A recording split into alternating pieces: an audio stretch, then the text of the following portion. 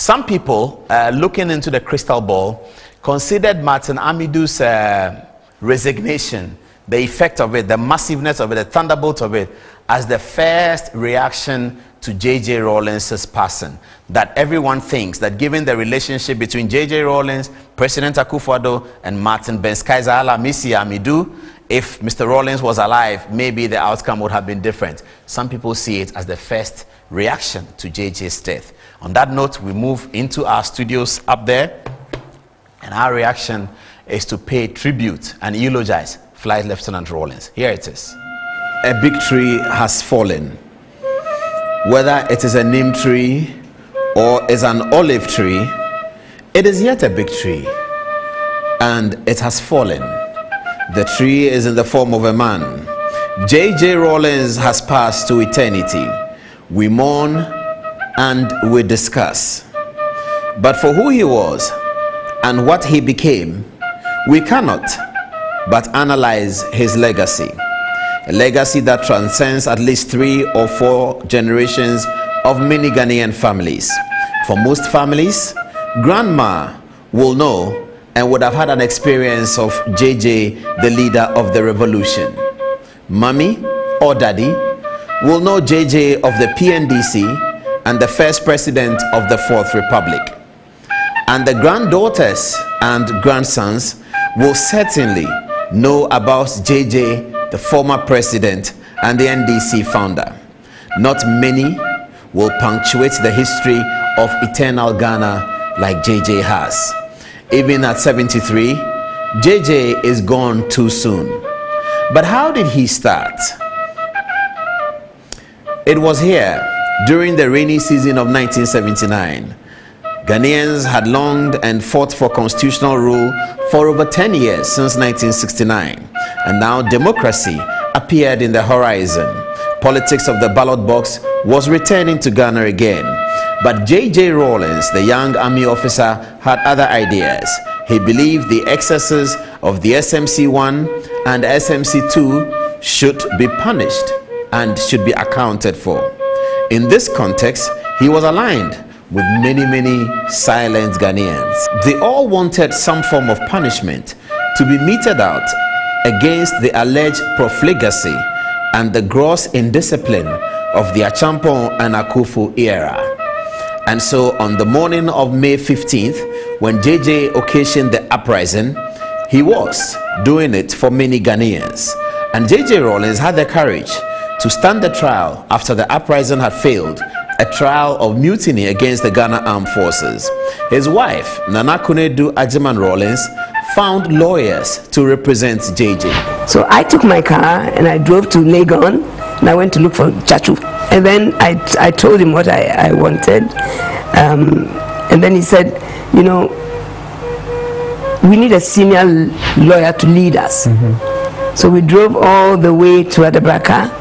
He went up, spoke to him. Then he came back and he said, oh, the guy wants to see you now. He's interested, so let's go. And when I went, it was Adumua-Bossman. So the lawyers attended the trial with him. He lost the case.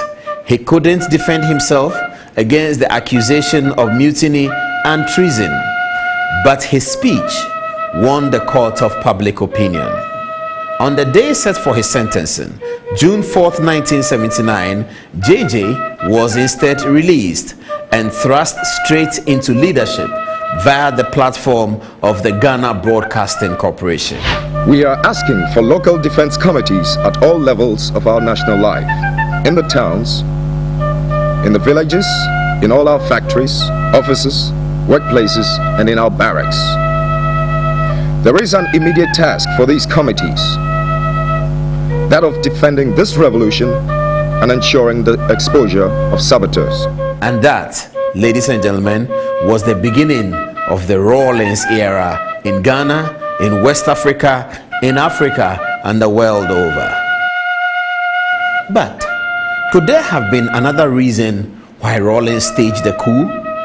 And why did he think that he needed exposure in the nation's biggest newspaper ahead of staging his coup? Flight Lieutenant Rawlings said to me that, oh, uh, he was going to lead the group of soldiers that were going to see off General Akufo at the airport. Because General Akufo, having become chairman of the SMC2, that day he was going to, I think, the Gambia and Senegal. And Flight Lieutenant Rawlings said to me that, oh, he was going to be the officer who was going to lead the guard of honor at the airport. Could I please send, make sure that uh, the graphic cameras capture this? So at the meeting, the graphic, the morning meeting where we send out reporters and such, I declared an interest. I said to my colleagues at the meeting that I have an interest. There's a friend of mine who is going to lead the detachment that will see of um, the guard of honor for General Akufo. That can the cameraman who is going please make sure that they take a photo of him. He's called Flight Lieutenant Rawlings. And everybody laughed. And we put this picture of Flight Lieutenant Rawlings leading the Guard of Honor detachment on the front page of the graphic. A few days later, Flight Lieutenant Rawlings stages or attempts to stage a coup May 15th. This is a few days later. So that day, as it happened, the graphic was the only person that had a photo of the person who had tried to stage the coup. And why did we have a photo? Because we had photographed him leading this detachment at the airport. That's, that's the only reason we had the photo of him. Nevertheless, the corresponding coup from his release on June 4, 1979, produced the AFRC, the Armed Forces Revolutionary Council. And the most memorable product of the AFRC was the executions of high-ranking military officers. Truly, the youth of Ghana called for the blood to flow, and so the blood was shed. Acheampong, Utuka, Felli, Amedume, Akufu, Yaw Boakye, they all died. But surely, even if the youth was calling for the blood to flow, that should not include one man, Okatakyie Amankwa Afrifa. He had left both the army and government 10 years earlier. He had run for elections and had been elected as member of parliament for the Mampong constituency. He was minding his own business. JJ was blamed for this. But in his last public interview before JJ passed, he told the real story to famous journalist Kweku Sakyi-Addo. If it wasn't for this general, mm. Afrifa would not have been on the list. No. No. And so Afrifa's name on the list was not your preference. No. I don't think. No, when we compiled the list, none of us had him in mind. I told you what had happened. He wasn't too well. You know, I had him detained and uh, sent to the hospital. When he recovered, I told Dennis to send him home. You know, I was not part of it. But when you hold such a general in awe, you're just a young officer, you know, thrust into a situation like this, and people have to go, you know, and he tells you something like this, he would know. Yeah. And Do you, it's not illogical. Good. You regret it?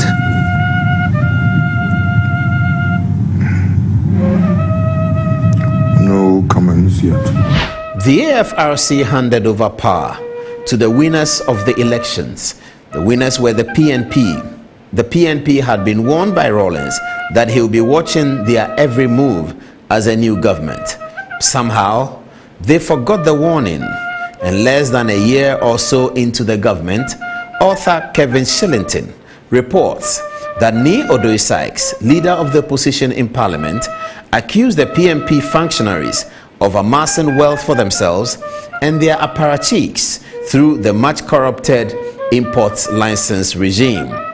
During the second anniversary of the regime, the leader and president, Dr. Limann, prophesied as follows. He said, and I quote, Unless we change our old ways, we shall fail to achieve our objectives and we may end up in a national disaster again.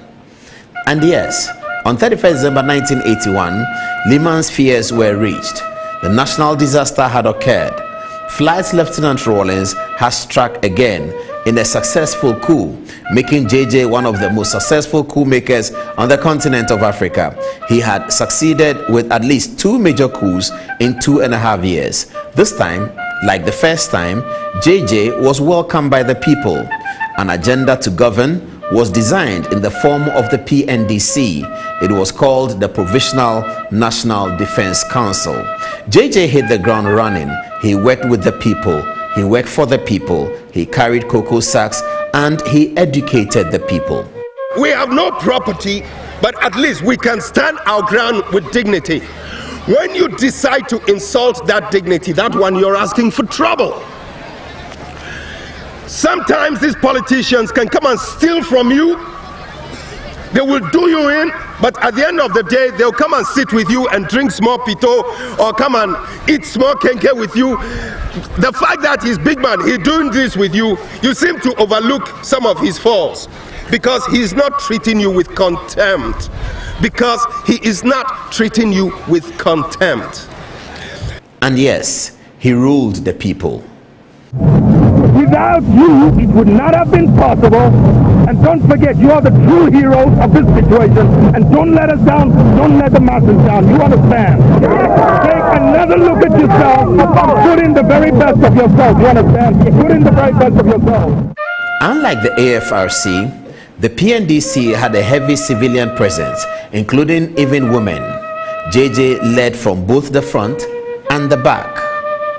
The PNDC encountered some difficulties. Economic hardships and international sanctions against Ghana made life somewhat difficult. Credit to JJ that he put together a formidable team of old politicians and new brilliant young men and women. Some of them senior members of the University of Ghana.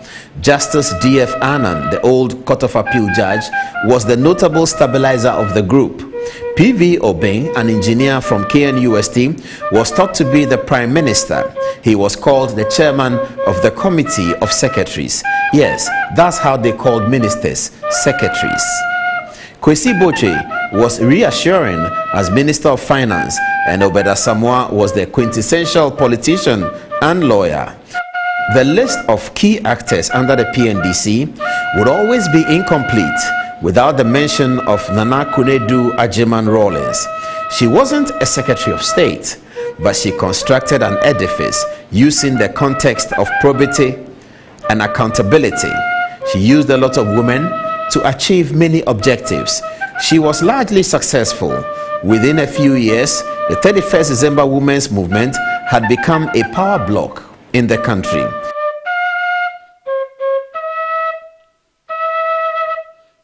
The PNDC rule became scary at some point.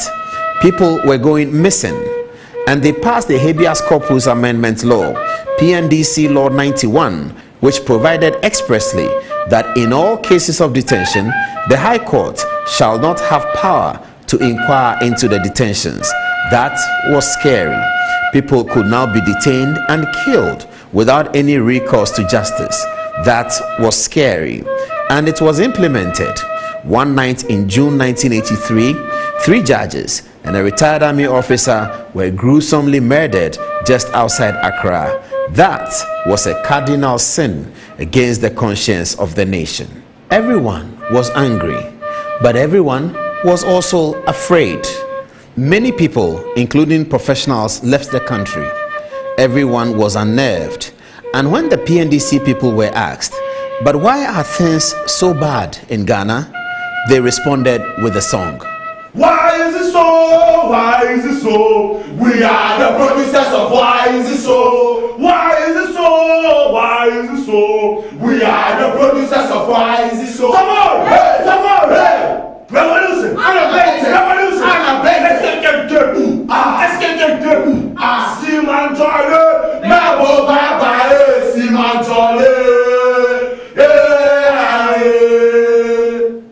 People in Ghana were tired and frustrated about the murder of the judges. Pressure was brought to mount on the PNDC. A trial was occasioned, and a leading cadre, Joachim Amartey Kwei, was executed by firing squad for his role in the murder. The chief of defense staff resigned. Some cadres were not happy that one of their own had been killed. Once again, they made a song about it. Revo, revo, revolution has a long way to go, but has come to stay. Revo, revo, revolution has a long way to go, but has come to stay. Cadence may go, cadence may come, but the revolution has come to stay. Revo, revo, revolution has a long way to go, but has come to stay. Cadence may go, cadence may come, but the revolution has come to stay. Revo, revo, revolution has a long way to go, but has come to stay. Meanwhile, the PNDC had received over 1 million Ghanaians who had been deported from neighboring Nigeria. J.J. Rawlings was a hero again. His popularity returned. Patriotism in Ghana was growing. The economy began to recover in 1985 and in 1986. Things were slowly building up again. Rumors of counter coups and coups had completely reduced and the curfew had been lifted. The PNDC was going to wind down as a government with a good record in the economy. The cracks in the PNDC, however, began when constitutional rule was about to start.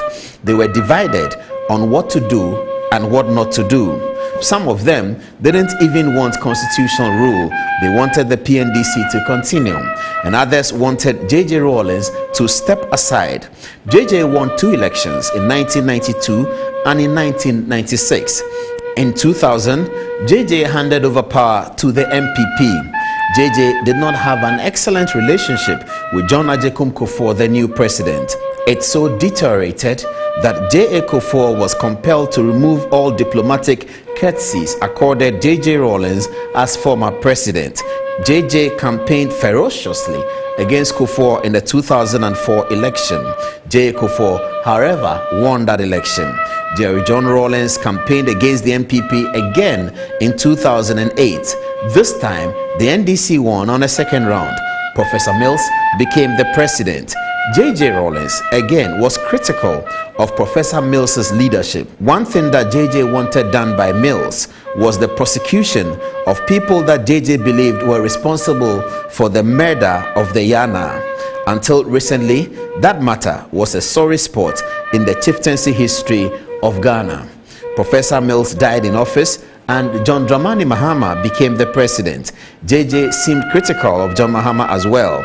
And in 2016, it was widely reported that JJ had said that he did not even cast his vote for the candidate of his own party. Since 2017, JJ Rawlings seems to have had a better relationship with Akufo-Addo than his own party.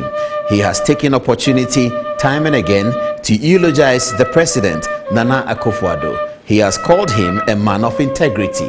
We are very fortunate also that somebody like Nana Akufo-Addo has emerged over here. People think I like that man to high heavens. No, but I respect him for certain principles, certain values. And I just keep, I will continue to pray, and I, I sincerely hope that he stays the track. He seemed to like him as a leader, and some people believe that J.J. Rawlings' liking of Akufo-Addo is partly because Akufo-Addo has been able to resolve that intractable Yana crisis by installing a new Yana for the people of Yendi. Meanwhile, Nana Konadu Agyeman Rawlings has left the NDC and formed her own party called the NDP. JJ's last public statement of political consequence was his reply to Professor Kwamena Ahwoi's controversial book. Flight Lieutenant Rawlings was unhappy and promised to respond in full in good time. Alas, that was not to be. JJ's last public appearance was at the death of his 101 year old mom, Victoria. Many people have made observations about JJ Rawlings and his life. He was charismatic, yes, he was. He had the magnet. He was a successful politician and a great Air Force pilot. JJ Rawlings also seemed to be a great father and a great family man to his family. He had been a successful mentor to his own daughter who is now a member of parliament. But why did J.J. Rawlings seem to fall out with so many of his comrades that in the end he seemed to have lost his friendship with all his comrades from the beginning through to the middle and up to the end? Name them Boakye-Djan, most of the AFRC members, Elizabeth Ohene, Zaya Yeebo, Akata-Pore, Yao Graham, Kwesi Botchwey, PV Obeng, most of the PNDC members, Obed Asamoah himself, really almost all JJ's colleagues, except Mr. Martin Amidu, now the former special prosecutor, had lost friendship with Flight Lieutenant Rawlings. Maybe, just maybe, JJ's standards of integrity was too high for many. Maybe he couldn't get along with people for too long. We don't know. What we do know is that so colossal was JJ's impact that even at 73, we will say JJ is gone too soon. Now, who will address the cadres on 31st December this year? We were all waiting to hear what JJ will say about the outcome of the December 7th elections. Alas, we won't know. And who will address the next June 4th celebration? We don't know. JJ has certainly gone too soon, but he made such a tremendous impact. Rest in peace, Flight Lieutenant Rawlings, Demre Fadwe.